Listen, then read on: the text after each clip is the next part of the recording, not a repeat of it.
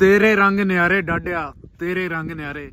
ਅੱਜ ਬਾਈ ਜੀ ਸਵੇਰੇ ਸਵੇਰੇ ਪੂਰਾ ਤੂਫਾਨ ਆਇਆ, ਪੂਰੀ ਅੰਨੀ ਬੈ ਗਈ, ਜਿਨ੍ਹਾਂ ਜਿਨ੍ਹਾਂ ਸਵੇਰੇ ਉੱਠ ਕੇ ਵਿਹੜਿਆਂ 'ਚ ਮੰਜੇ ਚੱਕੇ ਆ, ਜਾਂ ਕੋਠਿਆਂ ਤੋਂ ਮੰਜੇ ਲਾਏ, ਉਹਨਾਂ ਕੋ ਪੁੱਛ ਲਿਓ, ਜਿਨ੍ਹਾਂ ਮੀਂਹ 'ਚ ਉੱਠ ਕੇ ਸਵੇਰੇ ਸਵੇਰੇ ਆਪਣੇ ਆਪ ਨੂੰ ਸਾਂਭਿਆ, ਅੱਜ ਪੂਰਾ ਤੂਫਾਨ ਆਇਆ, ਸਵੇ- ਸਵੇਰੇ ਫਜਰ ਵੇਲੇ ਦੀ ਬਾਰਿਸ਼ ਹੋ ਰਹੀ ਆ। ਹੁਣ ਜਾ ਕੇ ਥੋੜੀ ਠੰਡੀ ਪਈ ਆ। ਖੇਸੀਆਂ, ਰਜ਼ਾਈਆਂ, ਕੰਬਲ, ਪੇਟੀਆਂ 'ਚ ਬਾਹਰ ਆ ਗਏ ਨੇ, ਸਵੇਰੇ 5-7 ਮੈਂ ਵੇਖੇ ਨੇ ਤੇ ਆ ਮੈਂ ਵੀ ਆ ਬਦਲ ਕੇ ਟਰੈਕ ਸੂਟ ਪਾ ਕੇ ਆਇਆ, ਅੱਜ ਠੰਡ ਬੜੀ ਲੱਗਣ ਦਈ ਸੀ। ਗਰਮੀ ਬਹੁਤ ਆ, ਗਰਮੀ ਬਹੁਤ ਆ, ਗਰਮੀ ਵਾਲਾ ਤੋੜ, ਉਹ ਟੁੱਟ ਗਿਆ, ਸਰਦੀਆਂ ਆ ਗਈਆਂ। ਜਿਹੜੀ ਬਿਮਾਰੀ ਨਿਕਲੀ ਸੀ ਅੱਖਾਂ ਵਾਲੀ, ਉਹ ਤੇ ਧੁੱਪ ਗਈ ਆ। ਪਰ ਜਿਨ੍ਹਾਂ ਨੇ ਪਾਣੀ ਤੋੜ ਤੋੜ ਲਾਏ ਸੀ ਨਾ ਆਪਣੀਆਂ ਫਸਲਾਂ ਨੂੰ ਕਿਸਾਨਾਂ ਦੀ ਮੈਂ ਗੱਲ ਕਰਦਾ ਜਿਨ੍ਹਾਂ ਪਾਣੀ ਚੋਰੀ, ਪਾਣੀ ਤੋੜ ਤੋੜ ਫਸਲਾਂ ਨੂੰ ਲਾਏ ਸੀ, ਇਹ ਫਸਲਾਂ ਡਿੱਗ ਪਈਆਂ, ਇੰਨਾ ਤੇਜ਼ ਤੂਫਾਨ ਸੀ। ਜੱਟ ਦਾ ਜਿਗਰਾ ਸੀ, ਜੋ ਇੱਡਾ ਨੁਕਸਾਨ ਜਰ ਗਿਆ। ਅਜੇ ਨੁਕਸਾਨ ਜਰਿਆ ਜੱਟ ਨੇ ਕਿ ਖਲੋਤੀਆਂ, ਤਿਆਰ ਫਸਲ ਤਬਾਹ ਹੋਈ ਆ। ਤੇ ਬਾਕੀ ਬਾਈ ਜੀ, ਸਾਡੇ ਗੋਇਰੇ ਟੋ- ਟੋਬੇ ਵਾਲ ਤੇ ਪੂਰੀ ਅੰਨੀ ਪੈ ਗਈ ਬਾਰਿਸ਼ ਵਾਲੀ, ਤੂਫਾਨ ਵਾਲੀ ਗੋਇਰੇ ਟੋਬੇ ਵਾਲ ਪੂਰਾ ਤਬਾਹੀ ਦਾ ਮੀਂਹ ਪਿਆ।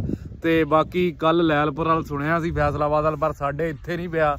ਪਰ ਅੱਜ ਇੱਥੇ ਵੀ ਪੈ ਗਿਆ। ਬਾਕੀ ਜਿਨ੍ਹਾਂ ਜਿਨ੍ਹਾਂ ਇਲਾਕਿਆਂ 'ਚ ਪਿਆ, ਸਾਰੇ ਭਰਾ ਕਮੈਂਟ ਕਰਕੇ ਦੱਸਿਓ ਤੇ ਵੀਡੀਓ ਨੂੰ ਸ਼ੇਅਰ ਕਰਿਓ। ਕਿਹਨਾਂ ਕਿਹਨਾਂ ਇਲਾਕਿਆਂ 'ਨੇ ਮੀਂਹ ਪਿਆ ਇਹ ਬੱਦਲ ਪੂਰੇ ਆ, ਉਹ ਮਗਰ ਨਜ਼ਰ ਆਉਂਦੇ ਹੋਣੇ ਤੁਹਾਨੂੰ ਬੱਦਲ। ਪੂਰੇ ਐ, ਪੂਰੇ ਸਿਰੇ ਤੇ ਆ ਬੱਦਲ। ਇੱਧਰ ਵੀ ਵੇਖ ਸਕਦੇ ਹੋ ਪੂਰਾ। ਇੱਧਰ ਮੜਾ ਥੱਲੇ ਆ, ਉਹ ਚੜ੍ਹਦੇ ਵਾਲੇ ਪਾਸੇ ਵੇਖੋ, ਉਹ ਚੜ੍ਹਦਾ ਪਾਸਾ। ਇੱਧਰ ਪੂਰੇ ਬੱਦਲ ਨੇ, ਸਿਰੇ ਤੇ ਨੇ। ਹਲੇ ਮੀਂਹ ਦਾ ਕੁਝ ਨਹੀਂ ਆਖਿਆ ਜਾ ਸਕਦਾ ਕਿ ਕਿਦੋਂ ਵੀ ਪੈ ਸਕਦਾ।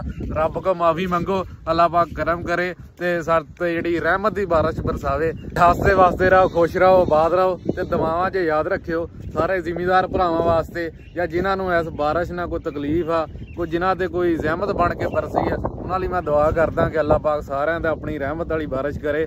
ਰਹਿਮਤ ਕਰੇ ਸਭ ਦੀਆਂ ਫਸਲਾਂ ਨੂੰ। ਤੋੜ ਤੱਕ ਪਹੁੰਚਾਵੇ ਉਹਨਾਂ ਦਾ, ਜਿਹੜਾ ਉਹਨਾਂ ਨੇ ਮਿਹਨਤ ਕੀਤੀ ਆ, ਉਹਨਾਂ ਨੂੰ ਉਹਦਾ ਸਿਲਾ ਮਿਲੇ। ਠੀਕ ਆ ਜੀ, ਦੁਆਵਾਂ 'ਚ ਯਾਦ ਰੱਖਿਓ, ਅੱਲਾ ਦੇ ਵਾਲੇ ਬਾਈ ਜੀ ਟਾਲੀ ਅੱਜ ਵਾਲੇ ਤੂਫਾਨ ਦੇ ਨਾਲ ਡਿੱਗੀ ਆ, ਜਿਹੜਾ ਸਵੇਰੇ ਆਇਆ। ਨਾਲ ਮੱਕੀ ਏ, ਇਹ ਤੇ ਥੋੜੀ ਨਿੱਕੀ ਏ ਐਡਾ ਨੁਕਸਾਨ ਨਹੀਂ ਆਪੜਿਆ ਲੇਕਿਨ ਉਹ ਮੱਕੀ, ਉਹ ਤਿਆਰ ਸੀ, ਪੂਰੀ ਵੱਡੀ ਏ। ਉਹ ਡਿੱਗ ਪਈ ਆ, ਉਹਦੀ ਹਾਲਤ ਵੇਖ ਸਕਦੇ ਹੋ ਤੁਸੀਂ।